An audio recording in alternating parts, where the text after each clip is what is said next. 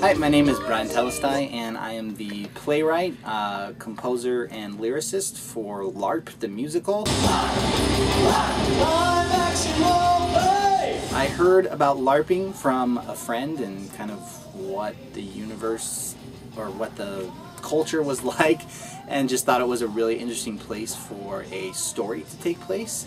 And I think it's really pertinent with today's um, culture for uh, millennials. We grew up uh, with the internet and with these um, kind of anonymous social spaces where we could in basically invent a persona of who we wanted to be and then uh, this is kind of a physical extension of that.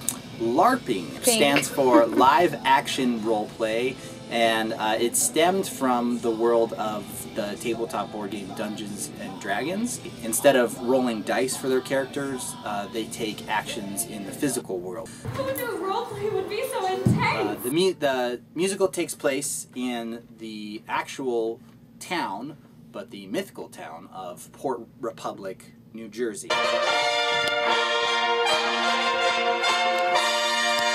Welcome, adventurers from across the realm. These LARPers come in uh, to take place in this festival where they have to go out into the forest to the north and capture and return the Jersey Devil.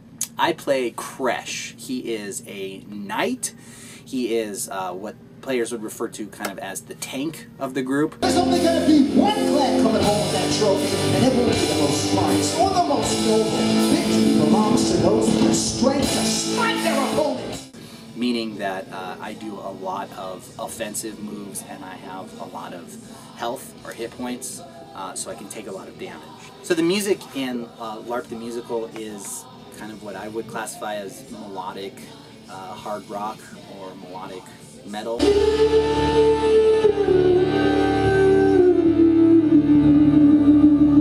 the world of LARPing, they talk about riding into battle, and there's actually a whole genre of, of metal and hard rock that's already kind of based around this Norse mythology. This like just over the top, ridiculous uh, bravado of riding into battle and conquering your foe.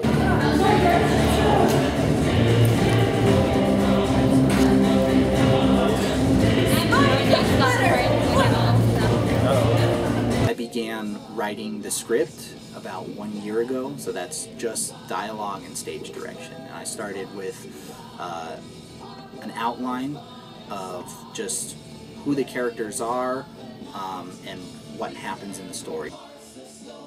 Alright, so in this transition, I have Hayden, Grace, and Sam moving pillars. Just like this scene takes place here, and these two things happen in the scene, and then the next scene, and it was just a big puzzle trying to figure out where the characters fit in, who they were, what they wanted, and how those, stories track throughout the play. Music is a lot more draining creatively than to sit down and write the play because a play, like once I have the structure, it's just kind of like telling a story and figuring out, and the lines kind of flow naturally. But music for me is something much more um, creative and much more uh, harder to kind of pin down and figure out where the feeling goes throughout the song and, and what chords I want to use, what key it's going to be in, what the lyrics are going to be, what time signature it's going to be in. All those different things have to come in, and then how the, the melody is going to uh, support the lyrics and uh, what harmonies with other characters are coming in and what stage directions or what action has to happen throughout the song.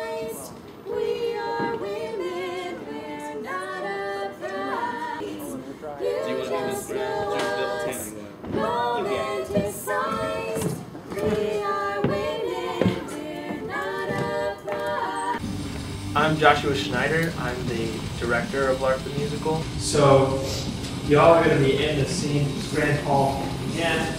So just come in from the same place. Um, this has been a huge production. It has been ginormous. There's so many people involved.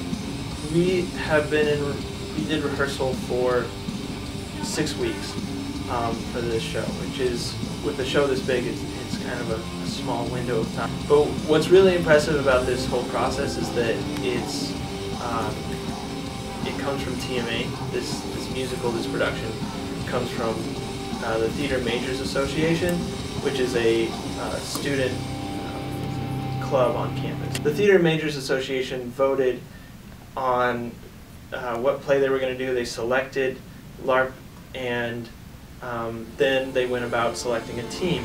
But this has been a huge project. Um, this was a ginormous, this is a big musical. So I was one of the people who went in to interview to be a director for the show, and then a bunch of other people went in to uh, interview for different design um, portions of the show. So there's uh, lighting and sound, props, costumes, makeup. It's gonna get noisy. My name is Shantae Heeman and I'm the costume designer. um, it's to sound kind of a little nerdy. Uh, I'm a huge fan of Buffy the Vampire Slayer and uh, there's a demon that Giles turns into. He's a feral demon and um, I kind of modeled him after a feral demon a bit. So I have a, an assistant and then I have two dressers and I also have two makeup artists I also have a makeup designer. So she was the one that uh, built the prosthetic. The love child of Jethro and the Jersey Devil. Oh, okay. I'm Jethro Junior.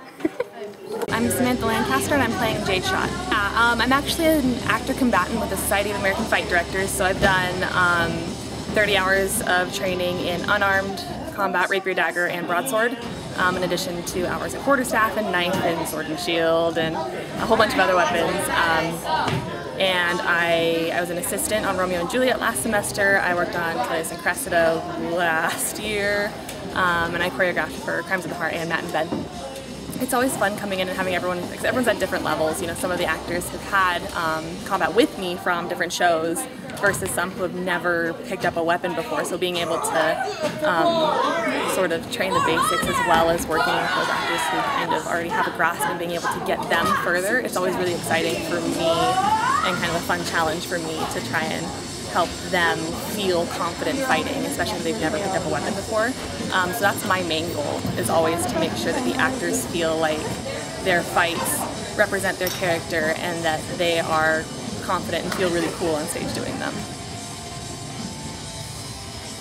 Happy birthday!